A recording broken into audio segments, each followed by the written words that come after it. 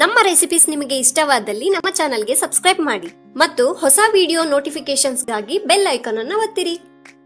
Hi friends welcome to Sharan's ಅಡಿಗೆಗಳು. ಇವತ್ತಿನ ನಮ್ಮ ರೆಸಿಪೀಸ್ನಲ್ಲಿ ತುಂಬಾನೇ ಈಸಿಯಾಗಿ ಟೇಸ್ಟಿಯಾಗಿರುವಂತ ಚಿಕನ್ ಲಿವರ್ ಫ್ರೈ ಯಾವ ರೀತಿ ಮಾಡೋದು ಅಂತ ನೋಡೋಣ.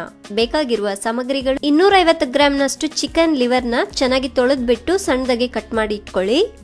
ಎರಡು ಟೇಬಲ್ ಸ್ಪೂನ್ನಷ್ಟು ಎಣ್ಣೆ, ಸ್ವಲ್ಪ ಕೊತ್ತಂಬರಿ ಸೊಪ್ಪನ್ನ ಕಟ್ ಮಾಡಿ ಇಟ್ಕೊಳ್ಳಿ.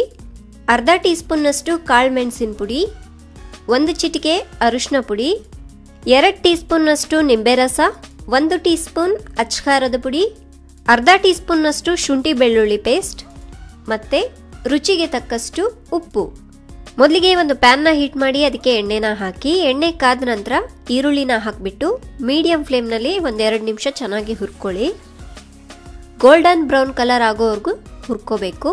ನೋಡಿ ಇಷ್ಟಾದರೆ ಸಾಕು. ಇವಾಗ ಇದಕ್ಕೆ ಶುಂಠಿ ಬೆಳ್ಳುಳ್ಳಿ ಪೇಸ್ಟ್ನ ಹಾಕಿಬಿಟ್ಟು ಹಸಿ ವಾಸನೆ ಹೋಗೋವರೆಗೂ ಹುರ್ಕೊಳ್ಳಿ.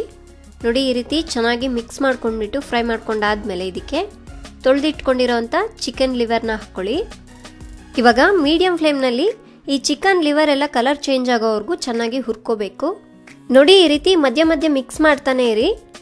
ಈ ರೀತಿ ಕಲರ್ ಚೇಂಜ್ ಆದಮೇಲೆ ರುಚಿಗೆ ತಕ್ಕಷ್ಟು ಉಪ್ಪು ಅರಿಶಿನ ಪುಡಿ ಅಚ್ಕಾರದ ಪುಡಿ, ಕಾಳು ಮೆಣಸಿನ ಪುಡಿನ ಹಾಕ್ಬಿಟ್ಟು ಚೆನ್ನಾಗಿ ಮಿಕ್ಸ್ ಮಾಡಿ, ಈ ಲಿವರ್ ಪೀಸಸ್ಗೆ ಉಪ್ಪು ಖಾರ ಎಲ್ಲ ಚೆನ್ನಾಗಿ ಅಂಟೋ ರೀತಿ ಮಿಕ್ಸ್ ಮಾಡ್ಕೊಂಡ್ಬಿಟ್ಟು ಇದ್ರ ಮೇಲೆ ಒಂದು ಮುಚ್ಚುಳನ ಮುಚ್ಚಿಡಿ.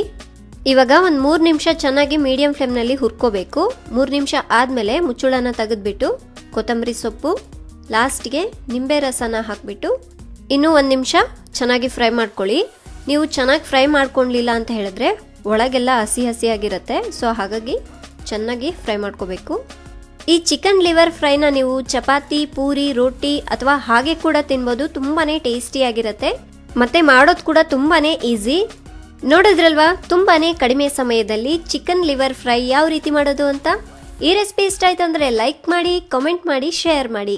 ನಮ್ಮ ಎಲ್ಲಾ ರೆಸಿಪಿ ಸ್ಟೆಪ್ ಬೈ ಸ್ಟೆಪ್ ಇನ್ಸ್ಟ್ರಕ್ಷನ್ಸ್ಗಾಗಿ ಶುಭಾ ಶಾರನ್ ಡಾಟ್ ಕಾಮ್ ವೆಬ್ಸೈಟ್ಗೆ ವಿಸಿಟ್ ಮಾಡಿ. Thank you.